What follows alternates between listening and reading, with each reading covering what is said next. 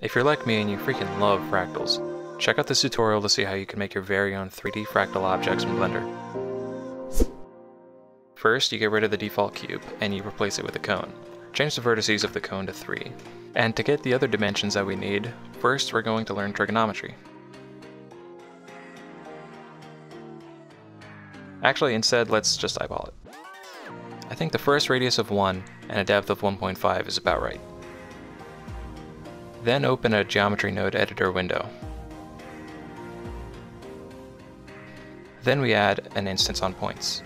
We plug the geometry into the points and the instances. This is what we're going to use to create an instance of the object at every point. Duplicate the instance on points node, plug the geometry node into points, and the instances from the previous iteration into the instance. We're going to need to scale the objects down. The ratio for a triangle is 0.5 but if you're making another 3D object, you'll have to find the ratio for that one.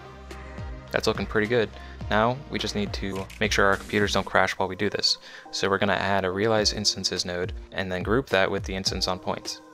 Then we'll be able to duplicate the group and get a lot more iterations.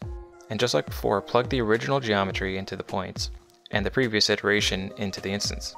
You do this as many times as you can until you're satisfied or your computer crashes, whichever comes first.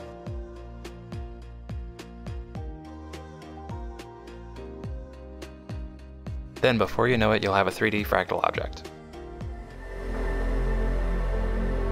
Thank you for watching. My name is Alex, motion designer for my studio, Blue Dog Motion. Check us out.